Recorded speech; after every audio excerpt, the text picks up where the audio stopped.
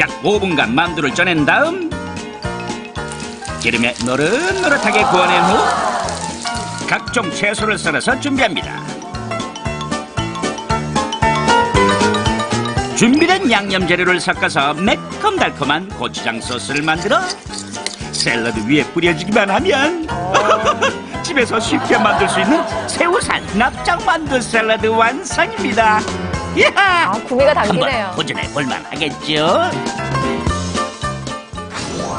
두 번째 간식을 찾아온 이곳은 경상북도 영준대에 역시나 소문난 명물 간식답게 밖에서부터 사람들로 북적북적 아유야 관광버스까지 타고 오셨네 사과 튀김 아닐까? 식당인데. 우와 매장하는 이미 인산이네 아니 여기서 뭘 그렇게 맛있게 드시는 거예요? 영주 도너츠 여기는 사람 모르는 사람 없는데 저 19살인데 15년 단거리 야, 내일 초반인데 어, 엄마 아빠가 4살 5살 때부터 많이 사줬어요 연주에서 유명한 뭐예요? 간식이 도넛이라고요? 이야. 골라 먹는 재미는 물론이고요. 순식간에 도넛이 팔린다고 합니다. 어, 근데 그 맛이 엿박스를 저기서 특별한가 보죠? 어, 인삼내도 향이 나면서 그냥 좋아요. 엄청 좋아요. 여기 영지층 특산물로 만든 거니까 유명하잖아요. 다 아시잖아요. 맞아요. 이것이 바로 소문난 영주 도넛이 만들어지는 곳인데요. 불티나게 팔리는 만큼 도넛을 만들어내느라 정신이 없으신 듯한데 여기 한쪽에 자리 잡고 있는 이것들은 영주가 자랑하는 특산품인 생강, 생강부터 사과에 어라 인삼까지 특산품을 이용한 이유가 있나요? 공주도 아, 인삼인가? 여기 지역에 인삼도 유명하고 사과도 유명하고 생강도 유명해요. 그래가지고 이제 그 그걸 특성을 살려서 하다 보니 그리고 또 가까이 있으니까 가장 구입하기 쉽잖아요. 그래서 이제 하게 됐어요.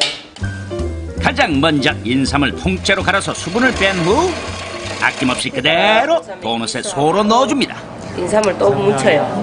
사과도 마찬가지. 맛은 물론이고요. 건강까지 사로잡은 인삼 도넛 또한 사과를 이용해서 도넛에 소와 시럽을 만들어주는데요. 사과즙을 뺀 다음 설탕과 사과즙 그리고 사과채까지 넣어서 약 10분간 졸여 시럽을 만든 후 어우, 달콤하겠어요. 시럽이 잘 스며들 수 있도록 살살 버무려줍니다. 이거 맛있겠다. 네. 아이고야! 보기만 해도 사과향 가득한 도넛 맛있어 보이죠? 설탕과는 격이 다르겠어요. 그 중에서도 인기 만점 도넛은 따로 있다는디 이거 우리 효자 품 목 생강이에요. 빨리 까야 또 생강 도넛으로 만들지요. 생강 도넛의 맛을 좌우하는 것은 뭐니 뭐니 해도 생강 시럽 알싸한 맛이 특징인 생강을 갈아서 설탕에 약 10분간 졸여내주면 생강의 매운맛은 사라지고 달콤한 맛만 남는다고 하네요 그리고요 생강 시럽에 깨를 함께 넣고 버무려주면 달달 하면서도 고소한 맛이 일품인 생강 도넛 완성 이렇듯 지역 특산품을 살려 영주만의 매력이 듬뿍 담겼다는 도넛 남녀노소 막론하고 한 번 맛보면 푹 빠진다는지 맛이 어떠세요? 하나만 먹어도 건강해지는 느낌이랄까요? 생강 맛이 좋고요. 뭐 감기에 좋다 먹습니다. 오늘의 마지막 간식을 찾아온 것은 충청북도 청주의 유 청주에서만 파는 것 같은데? 2, 30분 정도는 기다려서 먹는데? 바삭바삭해서 자주 먹어요. 모두가 임모가 가리키는 간식은 바로 호떡이요? 어떠? 호떡? 호떡이요? 네. 청주 명물 간식이 호떡이라고요? 역시나 명물답게 줄 서서 먹는 건 기본 중에 기본 그런데 다들 어떻게 알고 오신 거예요 여길? 여기 서울에서 먹으러 왔어요. 애들 먹여주려고 데리고 왔어요. 아, 호떡 사람이 하도 줄 서서 얼마나 맛이 있으면 나도 하나 사 먹으려고 이런. 심리가 또 있거든요. 네, 완전. 얼마나 특별한 호떡이길래 사람들 입맛 꽉 사로잡았나 했더니 아니 무슨 호떡 불판이 이렇게 크대요? 이야 이거 한 번에 몇 개나 구워지는 건가요?